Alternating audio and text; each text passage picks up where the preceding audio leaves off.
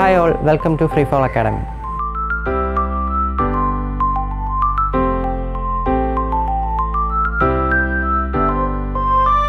so guys നമ്മൾ ഇന്ന് ഇവിടെ ഡിസ്കസ് ചെയ്യാൻ പോകുന്നത് സൈക്ലോട്രോൺ നമ്മൾ ഹയർ സെക്കൻഡറി തൊട്ടേ കേൾക്കുന്ന ഒരു വാക്കാണ് ഈ സൈക്ലോട്രോൺ എന്ന് പറയുന്നത്. നയന്റീൻ ട്വന്റി നയനിൽ ഏണസ്റ്റ് ഓ ലോറൻസ് എന്ന് പറയുന്ന ഒരു സയന്റിസ്റ്റാണ് ഇത് ഇൻവെന്റ് ചെയ്തത്. ഇതൊരു പാർട്ടിക്കൽ ആക്സിലറേറ്ററാണ് ഇതിന്റെ വർക്കിംഗ് കൺസ്ട്രക്ഷൻ തിയറി എന്നിവയെക്കുറിച്ച് നമുക്ക് ഡിസ്കസ് ചെയ്യാം. സോ സൈക്ലോട്രോണിന്റെ കൺസ്ട്രക്ഷനെ കുറിച്ചാണ് നമ്മളിവിടെ പറയാൻ പോകുന്നത്. സൈക്ലോട്രോണിന്റെ ഏറ്റവും വൈറ്റലായിട്ടുള്ള പാർട്ട് എന്ന് പറയുന്നത് രണ്ട് ഡീസ് ആണ്. ഡീസ് എന്ന് പറഞ്ഞു കഴിഞ്ഞാൽ ഇവർ രണ്ടുപേരും രണ്ട് ഹോളോ സെമി സർക്കുലർ ഷേപ്പുള്ള മെറ്റൽ ബോക്സസ് ആണ്. ഹോളോ എന്ന് പറയുന്നത് വളരെ ഇമ്പോർട്ടന്റ് ആണ്. കാരണം ഇതിന്റെ വർക്കിങ്ങിന് അതൊരു വലിയ ഫാക്ടറാണ് ഈ ഹോളോ എന്ന് പറയുന്നത്. അതുകൊണ്ട് തന്നെ നമുക്കിതിനെ ഡി വൺ ഡി ടു എന്ന് വിളിക്കാം. കൺസിഡർ ചെയ്യുക ഇത് ഹോളോ ആണ്. അപ്പോൾ ഇതിനകത്ത് ഒരു പാർട്ടുണ്ട് അപ്പോൾ ഈ രണ്ട് മെറ്റാലിക് ഡീസിനെയും ഒരു എ സി ഓസിലേറ്ററുമായിട്ട് കണക്ട് ചെയ്തിട്ടുണ്ട്. അപ്പോൾ നമ്മളിവിടെ എ സി ഓസിലേറ്റർ ഓണാക്കി കഴിഞ്ഞ് കഴിഞ്ഞാൽ ഡി വൺ എന്ന് പറയുന്നതും ഡി ടു എന്ന് പറയുന്നതും പെർഫെക്റ്റ്ലി ഇൻസുലേറ്റഡ് ടു ഈച്ച് ആണ്. അപ്പോൾ ഇവർ തമ്മിൽ കണക്ഷൻ ഒന്നുമില്ല. അപ്പോൾ ഇവർ ഇങ്ങനെ കണക്ട് ചെയ്യുന്ന സമയത്ത് ഡി വൺ എയ്തർ പോസിറ്റീവ് ആണെങ്കിൽ ഡി ടു നെഗറ്റീവ് ആയിരിക്കും. അല്ലെങ്കിൽ നേരെ തിരിച്ച്. അടുത്ത ഹാഫ് സൈക്കിളിൽ ഇത് നെഗറ്റീവ് ആവും ഇത് പോസിറ്റീവ് ആവും. ഇങ്ങനെ കണ്ടിന്യൂസ് ആയിട്ട് ഓസിലേറ്റ് ചെയ്യുന്ന ഒരു ഇലക്ട്രിക് ഫീൽഡ് ഇതിനിടയിൽ ഡെവലപ്പ് ചെയ്യും. അതാണ് നമ്മളിവിടെ എ സി ഓസിലേറ്ററിന്റെ പ്രിൻസിപ്പിൾ അല്ലെങ്കിൽ എ സി ഓസിലേറ്റർ ഇവിടെ യൂസ് ചെയ്യുന്നതിന്റെ കാരണം ഇതാണ്. ഇനി ഈ ഡീസിന് മുകളിലായിട്ട് രണ്ട് പോൾ പീസസ് ഓഫ് മാഗ്നറ്റ്സ് നമ്മൾ വച്ചിട്ടുണ്ട്. മാഗ്നറ്റ്സ് വയ്ക്കുന്നതെന്ന് പറഞ്ഞാൽ ഇവിടെ സൗത്തും ഇവിടെ നോർത്തും വരുന്ന രീതിയിൽ നമ്മളിത് അറേഞ്ച് ചെയ്യും. അപ്പോൾ ആലോചിക്കുക ഇത് വയ്ക്കുന്നതെന്ന് പറഞ്ഞാൽ ഇപ്പോൾ ഇതാണ് ഡി എങ്കിൽ അല്ലെങ്കിൽ ഡീസ് എന്ന് പറയുന്നെങ്കിൽ ഇതിന് മുകളിൽ ഇവിടെ നമ്മുടെ സൗത്ത് പോളും ഇവിടെ നോർത്ത് പോളും വരും. അതായത് ഈ ഡീസ് തമ്മിൽ ഉള്ള ഇലക്ട്രിക് ഫീൽഡ് ഹൊറിസോണ്ടൽ ആയിരിക്കും. ഇങ്ങനെ ആയിരിക്കും. അതിന് മുകളിൽ വരുന്ന മാഗ്നറ്റിക് ഫീൽഡ് അപ്പോൾ സൗത്ത് നോർത്ത് അപ്പോൾ നോർത്ത് ടു സൗത്ത് ഇവിടെ ഒരു മാഗ്നറ്റിക് ഫീൽഡ് ഫോം ചെയ്യും. അത് ഈ ഇലക്ട്രിക് ഫീൽഡിന് പെർപെൻഡിക്കുലർ ആയിരിക്കും. ഒന്നുകൂടെ ഈ പോൾസ് ഡീസ് വരുന്നത് നോ ഇപ്പോൾ പ്ലസ് മൈനസ് ആണെങ്കിൽ ഇങ്ങനെ ആയിരിക്കും അതിന്റെ ഇലക്ട്രിക് ഫീൽഡ് വരുന്നത്. അതേസമയം മാഗ്നറ്റിക് ഫീൽഡ് എന്ന് പറയുന്നത് ഇതിന്റെ മുകളിലാണ് ഇരിക്കുന്നത്. അപ്പോൾ ഈ ഇലക്ട്രിക് ഫീൽഡും മാഗ്നറ്റിക് ഫീൽഡും എന്ന് പറയുന്നത് പരസ്പരം പെർപെൻഡിക്കുലർ ടു ഈച്ച് അതർ ആയിരിക്കും. സോ അപ്പോൾ ഇതാണ് ഇതിന്റെ മെയിൻ അപ്പാരറ്റസ് വരുന്നത്. ഇനി ഈ എന്റയർ സിസ്റ്റത്തിനെ നമ്മളൊരു വാക്യൂം ചേമ്പറിൽ എൻക്ലോസ് ചെയ്യുന്നു. അപ്പോൾ ഇത്രയാണ് ഒരു സൈക്ലോട്രോൺ കൺസ്ട്രക്റ്റ് ചെയ്യുന്നതിന് നമുക്ക് ആവശ്യമായിട്ടുള്ള കാര്യങ്ങൾ. ഈ രണ്ട് ഡീസും പെർഫെക്റ്റ്ലി ഇൻസുലേറ്റഡ് ആണ്. ഇവർക്ക് ഇടയിലൊരു ചെറിയ ഗ്യാപ്പുണ്ട്. ആ ഗ്യാപ്പിൽ ഏറെക്കുറെ അതിന്റെ ഓൾമോസ്റ്റ് സെൻട്രൽ ലിമിറ്റ് പോയിന്റ് വരുന്ന റീജിയനിലാണ് നമ്മൾ ആക്സിലറേറ്റ് ചെയ്യേണ്ട പാർട്ടിക്കിൾ വയ്ക്കുന്നത്. നമുക്കറിയാം സൈക്ലോട്രോൺ ഒരു പാർട്ടിക്കിൾ ആക്സിലറേറ്ററാണ് ഇത് നമുക്കൊരു പാർട്ടിക്കിളിനെ ആക്സിലറേറ്റ് ചെയ്ത് അതിന്റെ ഔട്ട്പുട്ടായിട്ട് തരുന്നു. ആ ആക്സിലറേറ്റ് ചെയ്യുന്ന പാർട്ടിക്കിൾ നമുക്ക് ഹൈ എനർജി പാർട്ടിക്കിളാണ് ആ പാർട്ടിക്കിൾ ഉപയോഗിച്ച് നമുക്ക് ഈ ന്യൂക്ലിയർ റിയാക്ഷൻസ് പോലുള്ള കാര്യങ്ങൾ പെർഫോം ചെയ്യാൻ സാധിക്കും. അപ്പോൾ അതിന് വേണ്ടിയിട്ടുള്ള ഒരു ആക്സിലറേറ്ററാണ് സൈക്ലോട്രോൺ അപ്പോൾ ഏത് പാർട്ടിക്കിളാണോ ആക്സിലറേറ്റ് ചെയ്യേണ്ടത്? സപ്പോസ് ഞാനിവിടെ ഒരു പ്രോട്ടോൺ വയ്ക്കുന്നു. നമുക്കറിയാം പ്രോട്ടോണിന്റെ ചാർജ് പോസിറ്റീവ് ചാർജാണ് പ്രോട്ടോണിനെ ഞാനിവിടെ വയ്ക്കുന്നു എന്ന് വിചാരിക്കാം. എ സി ഓസിലേറ്റർ ഓണാക്കുന്ന സമയത്ത് suppose D one positive term positive ആണ്. അല്ലെങ്കിൽ ഡി ടു നെഗറ്റീവ് ആണെന്ന് നമുക്ക് അസ്യൂം ചെയ്യാം. നമുക്കറിയാം പ്രോട്ടോണിന്റെ ചാർജ് എന്ന് പറയുന്നത് പോസിറ്റീവ് ചാർജാണ് അപ്പോൾ സ്വാഭാവികമായിട്ടും പ്ലസ് ടു നെഗറ്റീവ് അല്ലെങ്കിൽ പോസിറ്റീവ് ടു നെഗറ്റീവ് ഈ ഡയറക്ഷനിൽ ഈ ഹൊറിസോണ്ടൽ ഡയറക്ഷനിൽ ഒരു ഇലക്ട്രിക് ഫീൽഡ് ക്രിയേറ്റ് ചെയ്യുന്നു. ആ ഇലക്ട്രിക് ഫീൽഡ് ഈ പ്രോട്ടോണിനെ ഡി ടുവിലേക്ക് അട്രാക്റ്റ് ചെയ്യപ്പെടുത്തും അല്ലെങ്കിൽ ഡി ടു ഡി ടുവിലോട്ട് ഈ പ്രോട്ടോണിനെ അത് ഫോഴ്സ് ചെയ്യിപ്പിക്കുന്നു. ആ ഫോഴ്സ് കാരണം ഡി ടുവിലോട്ട് എന്റർ ചെയ്യുന്നതിന് തൊട്ട് മുമ്പ് വരെ ഈ പാർട്ടിക്കിൾ ആക്സിലറേറ്റ് ചെയ്യപ്പെടുന്നു. എന്ന് പറഞ്ഞാൽ മിഡ് പോയിന്റിൽ നിന്ന് ഡി ടുവിലേക്ക് ആക്സിലറേറ്റ് ചെയ്യുന്നു. ഇനി നമുക്കറിയാം ഡി വണ്ണും ഡി ടുവും ഹോളോ ആണെന്ന് ഞാൻ ആദ്യമേ പറഞ്ഞു. അത് വളരെ ഇമ്പോർട്ടന്റ് ആയിട്ടുള്ളൊരു ഫാക്ടറാണെന്ന് ഞാൻ സൂചിപ്പിച്ചു. അപ്പോൾ ഇതൊരു ഹോളോ സർഫസ് ആണ്. അപ്പോൾ ഇതിനകത്തോട്ട് എന്റർ ചെയ്യുന്ന പാർട്ടിക്കിൾ അതിന് എന്റർ ചെയ്യുന്നതിന് തൊട്ട് മുൻപ് വരെ ആക്സിലറേറ്റ് ചെയ്യപ്പെടും.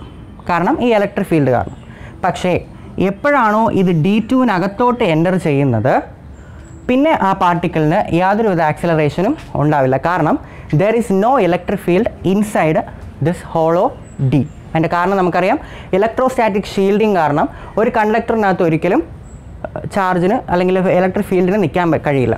അതുകൊണ്ട് തന്നെ ഇതിനകത്ത് പാർട്ടിക്കിളിന് ആക്സിലറേഷൻ സംഭവിക്കില്ല.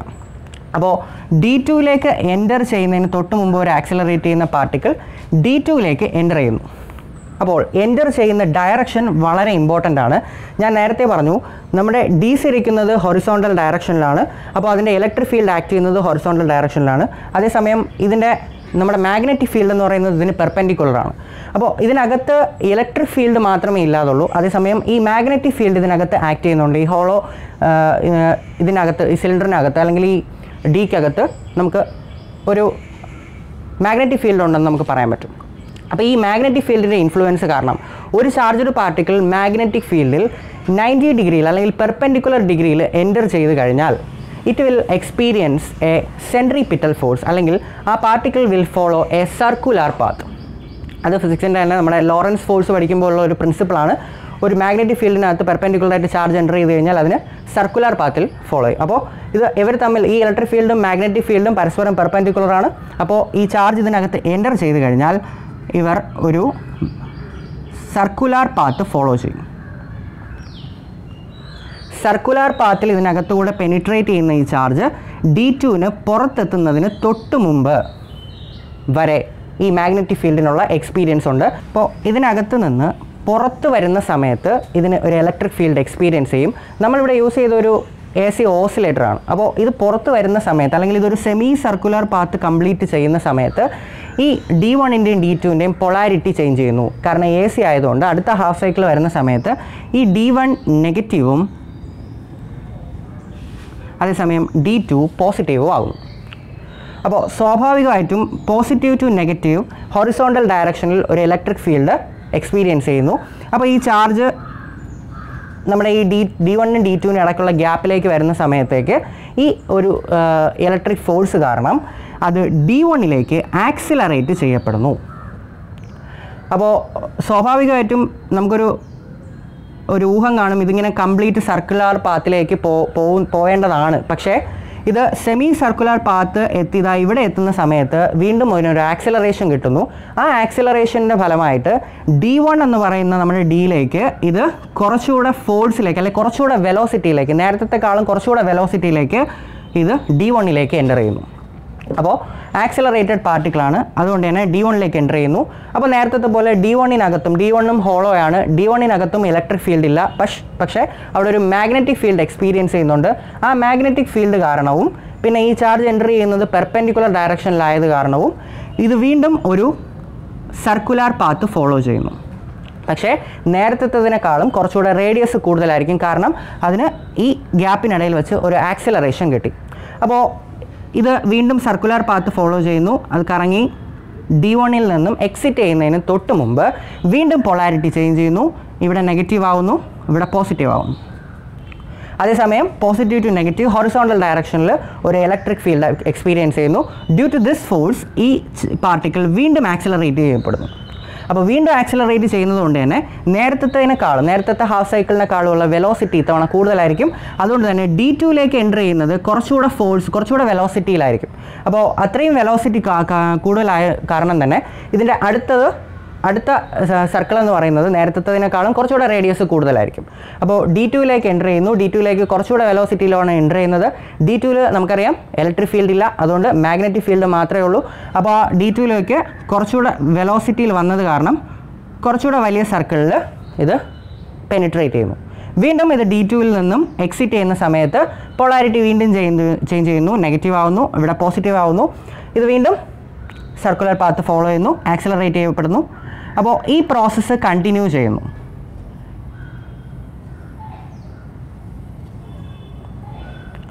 ഈ പ്രോസസ്സ് കണ്ടിന്യൂ ചെയ്ത് കണ്ടിന്യൂ ചെയ്ത് ഏറ്റവും അവസാനം നമ്മളിതിനെ ഒരു ഗൈഡ് ചെയ്യുന്നു ഒരു ടാർഗറ്റിലേക്ക് ഗൈഡ് ചെയ്യുന്നു. ഈ ടാർഗറ്റിൽ നമുക്ക് കിട്ടുന്നത് അപ്പോൾ ഇത് ഇതിനകത്ത് നിന്ന് ഇജക്റ്റ് ചെയ്ത് പുറത്തോട്ടേക്ക് വരുന്നു ഈ ഡയറക്ഷനിൽ ഇജക്റ്റ് ചെയ്ത് വരുന്ന ഈ പാർട്ടിക്കിൾ എന്ന് പറയുന്നത് നമ്മൾ ഇവിടെ വെച്ച പാർട്ടിക്കിൾ തന്നെ അത് കുറച്ചുകൂടെ ആക്സലറേറ്റഡ് അല്ലെങ്കിൽ ഹൈ എനർജി പാർട്ടിക്കിൾ ആയിരിക്കും നമുക്ക് ഇവിടെ നിന്ന് കിട്ടുന്നത്. ഇവിടെ നമ്മൾ ഈ ടാർഗറ്റ് വെച്ചിട്ട് ഇതിനെ നമ്മൾ എടുക്കുന്നു. ഈ ടാർഗറ്റിലൂടെ നമുക്കിതിനെ ഈ പാർട്ടിക്കിളിനെ എടുക്കാൻ പറ്റും. അപ്പോൾ ഇതാണ് ഒരു സൈക്ലോട്രോണിന്റെ ഏറ്റവും ജനറൽ ആയിട്ടുള്ള പ്രിൻസിപ്പിൾ അപ്പോൾ ആലോചിക്കേണ്ട കാര്യങ്ങളെന്ന് പറയുന്നത് ഡീസ് പരസ്പരം ഇൻസുലേറ്റഡ് ആണ്. ചെറിയൊരു ഗ്യാപ്പുണ്ട് അതിനിടയിൽ നമ്മൾ പാർട്ടിക്കിൾ വയ്ക്കുന്നു. ഡി വണ്ണും ഡി ടുവും ഹോളോ ആണ്. അപ്പോൾ അതിനകത്ത് ഇലക്ട്രിക് ഫീൽഡ് എക്സ്പീരിയൻസ് ചെയ്യില്ല പക്ഷെ മാഗ്നറ്റിക് ഫീൽഡ് എക്സ്പീരിയൻസ് ചെയ്യുന്നു.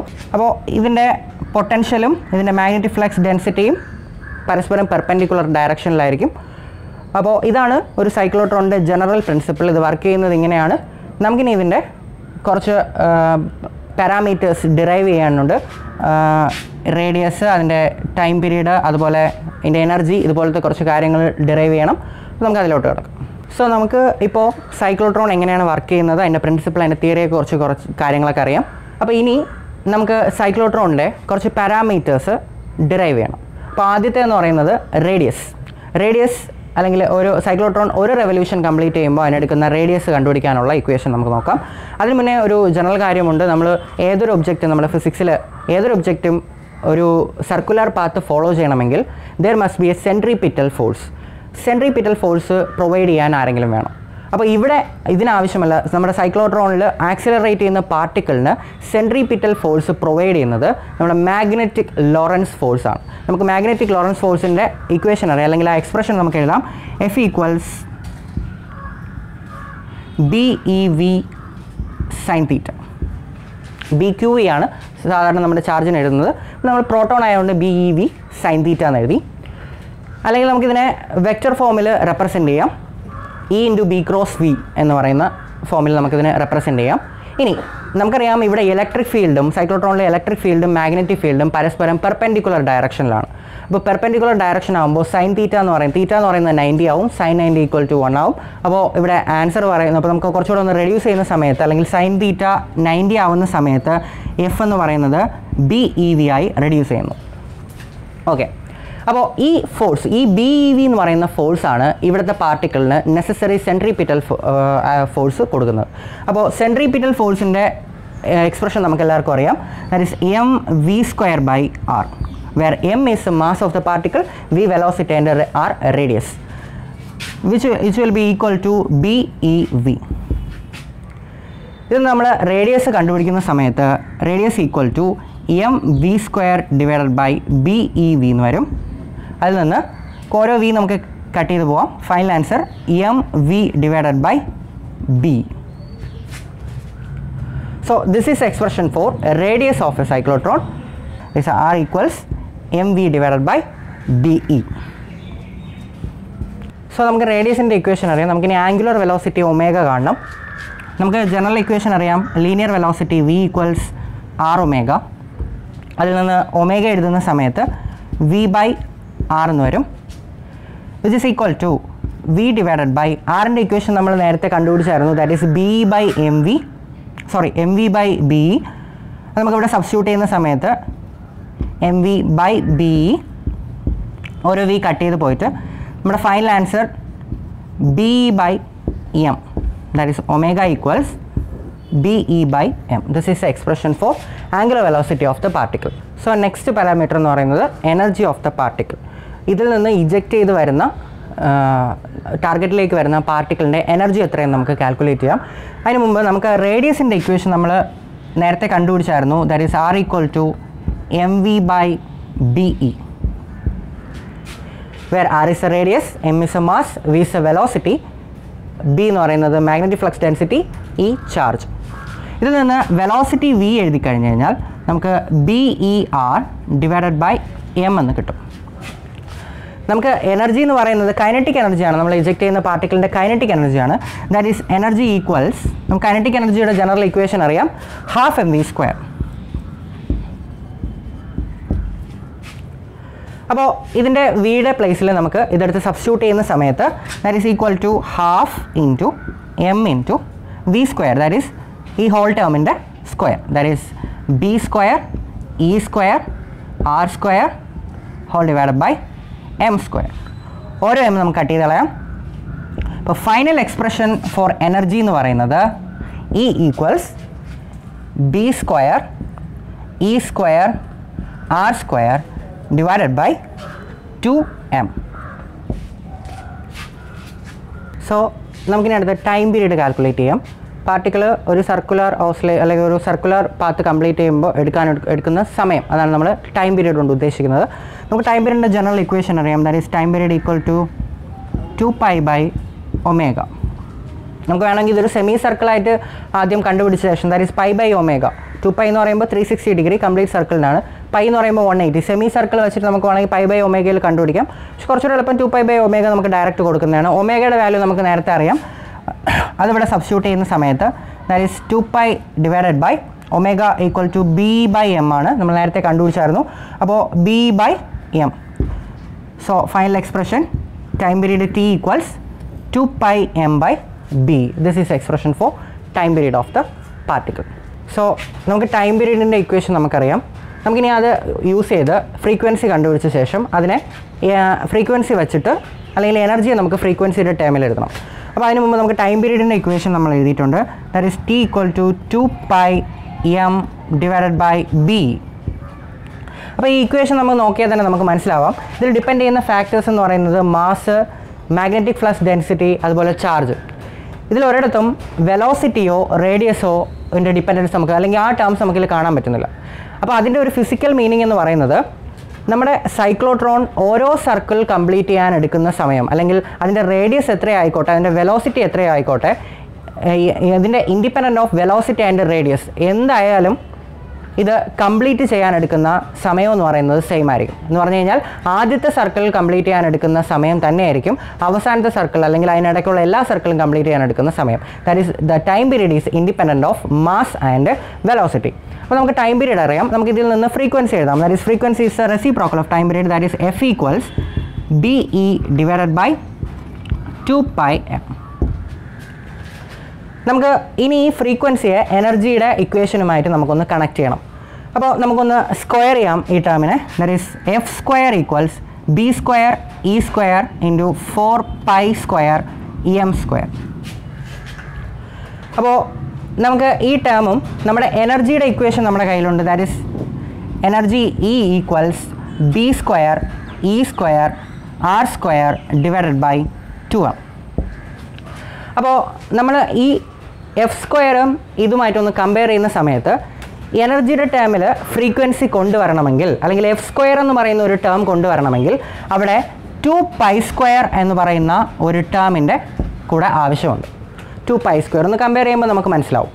അപ്പോൾ ബാലൻസ് അപ്പോൾ ഞാനിതൊന്ന് മൾട്ടിപ്ലൈ ചെയ്യാണ്. അപ്പോൾ ബാലൻസ് ചെയ്യാൻ വേണ്ടിയിട്ട് ഇതിനെ ഒന്ന് ഡിവൈഡ് ചെയ്യാൻ ടു പൈ സ്ക്വയർ എം കൊണ്ട് ഡിവൈഡ് ചെയ്യാം. സോ നമുക്കതൊന്ന് അറേഞ്ച് ചെയ്യാം.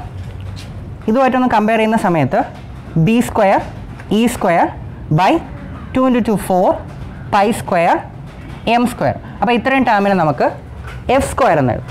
That is equal to F square remaining terms എന്ന് പറയുന്നത് ഒരു ആർ സ്ക്വയർ ഉണ്ട്. പിന്നെ ഈ ടു പൈ സ്ക്വയർ എം ഉണ്ട്. ഒന്നുകൂടെ ഒന്ന് അറേഞ്ച് ചെയ്യുന്ന സമയത്ത് നമുക്ക് two pi square M R square F square this is a expression for energy in terms of frequency നമുക്കിനി സൈക്ലോട്രോണിന്റെ ലിമിറ്റേഷൻസ് എന്തൊക്കെയാണെന്ന് നോക്കാം. നമുക്കറിയാം സൈക്ലോട്രോണിന് ഒരുപാട് യൂസ് ഉണ്ട്. നമുക്ക് ഹൈ എനർജി പാർട്ടിക്കിൾസ് ഇതിൽ നിന്ന് കിട്ടും. പാർട്ടിക്കിളിനെ ആക്സലറേറ്റ് ചെയ്യാൻ പറ്റുന്നു. പക്ഷേ ഇതിന് കുറച്ച് ലിമിറ്റേഷൻസ് ഉണ്ട്. എന്തൊക്കെയാണെന്ന് നോക്കാം. ഒന്ന് ഇലക്ട്രോൺ പോലുള്ള പാർട്ടിക്കിൾസിനെ നമുക്ക് സൈക്ലോട്രോൺ യൂസ് ചെയ്ത് ആക്സലറേറ്റ് ചെയ്യാൻ പറ്റില്ല. അതിന്റെ കാരണം എന്താണെന്ന് ചോദിച്ചു കഴിഞ്ഞാൽ ഇലക്ട്രോണിന്റെ മാസ് എന്ന് പറയുന്നത് വളരെ വളരെ കുറവാണ്. അപ്പോൾ ഇത്രയും ചെറിയ മാസമുള്ള പാർട്ടിക്കിൾസിനെ നമുക്ക് സൈക്ലോട്രോൺ യൂസ് ചെയ്ത് ആക്സലറേറ്റ് ചെയ്യാൻ പറ്റില്ല. അടുത്ത ലിമിറ്റേഷൻ എന്ന് പറയുന്നത് അതുപോലെ തന്നെ ന്യൂട്രൽ പാർട്ടിക്കിൾസിനെ നമുക്ക് സൈക്ലോട്രോൺ യൂസ് ചെയ്ത് ആക്സിലറേറ്റ് ചെയ്യാൻ കഴിയില്ല. കാരണം നമുക്കിതിന്റെ വർക്കിംഗ് പ്രിൻസിപ്പിൾ തന്നെ നോക്കുമ്പോൾ മനസ്സിലാവും. ന്യൂട്രൽ പാർട്ടിക്കിൾ ഇതിനകത്ത് വെച്ച് കഴിഞ്ഞാൽ ഒരിക്കലും അത് ഇലക്ട്രിക് ഫീൽഡിന് അല്ലെങ്കിൽ ആ ഫോഴ്സിന് വിധേയമാകില്ല. അതുപോലെ തന്നെ അപ്പോൾ നമുക്ക് ഇതിൽ ഏത് പാർട്ടിക്കിൾ ആക്സിലറേറ്റ് ചെയ്യാമെന്ന് ചോദിച്ചു കഴിഞ്ഞാൽ നമുക്കിതിൽ പ്രോട്ടോൺ ആക്സിലറേറ്റ് ചെയ്യാൻ പറ്റും. പോസിറ്റീവ്ലി ചാർജ്ഡ് പ്രോട്ടോൺസ് പക്ഷേ അവിടെ ഒരു പ്രശ്നമുണ്ട്. പാർട്ടിക്കിളിന്റെ മാസ് അല്ലെങ്കിൽ നമ്മളിവിടെ വയ്ക്കുന്ന പോസിറ്റീവ് ചാർജിന്റെ മാസ് എന്ന് പറയുന്നത് വളരെ കൂടുതലായാൽ പോലും അവിടെ ചെറിയ പ്രശ്നമുണ്ട്. അത് നമുക്ക് എക്സ്പ്ലെയിൻ ചെയ്യാം. നമുക്ക് ഐൻസ്റ്റീന്റെ റിലേറ്റീവിസ്റ്റിക് മാസ് ഇക്വേഷൻ നമുക്കറിയാം. That is M equals M zero by square root of one minus V square by C square where m is the mass of the particle, m0 zero it's rest mass and V is the velocity and C the speed of light അപ്പോൾ നമുക്ക് നമ്മുടെ സൈക്ലോട്രോണിൽ കൂടെ accelerate ചെയ്യുന്ന പാർട്ടിക്കിളിന്റെ time period കണ്ടുപിടിക്കാനുള്ള equation അറിയാം. That is T equal to two pi M divided by B ഇവിടെ മാസിന്റെ പ്ലേസിൽ അല്ലെങ്കിൽ ഈ പാർട്ടിൽ നമുക്ക് ഈ നമ്മുടെ റിലേറ്റീവിസ്റ്റിക് ഇക്വേഷൻ ഒന്ന് സബ്സ്റ്റിറ്റ്യൂട്ട് ചെയ്ത് നോക്കാം. അപ്പോൾ നമുക്ക് ഇങ്ങനെ കിട്ടും. That is two pi by B E into M zero by root of one minus V square by C square ഇത് ടൈം പീരീഡാണ് അപ്പോൾ ഇതിന്റെ ഫ്രീക്വൻസി നമ്മൾ എഴുതി കഴിഞ്ഞു കഴിഞ്ഞാൽ that is reciprocal that is B divided by two pi into square root of one minus V square by C square divided by M zero so this is a frequency ഈ equation നമ്മളൊന്ന് analyse ചെയ്ത് കഴിഞ്ഞാൽ നമുക്ക് മനസ്സിലാവും. One minus V square by C square എന്ന് പറയുന്ന term നമ്മുടെ സൈക്ലോട്രോണിലെ പാർട്ടിക്കിൾ ഓരോ സർക്കിൾ ഡിസ്ക്രൈബ് ചെയ്യുന്ന കഴിയുമ്പോഴും അതിന്റെ വെലോസിറ്റി ഇൻക്രീസ് ചെയ്തുകൊണ്ടിരിക്കും. അപ്പോൾ ഈ വിയുടെ വാല്യൂ കൂടിക്കൊണ്ടിരിക്കും. അപ്പോൾ വി സ്ക്വയർ ബൈ സി സ്ക്വയറിന്റെ വാല്യൂ എന്ന് പറയുന്നത് ഒരു പോസിറ്റീവ് വാല്യൂ ആയിരിക്കും. അപ്പോൾ വൺ മൈനസ് ആ വാല്യൂ എന്ന് പറയുന്നത് എപ്പോഴും ഒന്നിനേക്കാളും ചെറിയ വാല്യൂ ആയിക്കൊണ്ടിരിക്കും.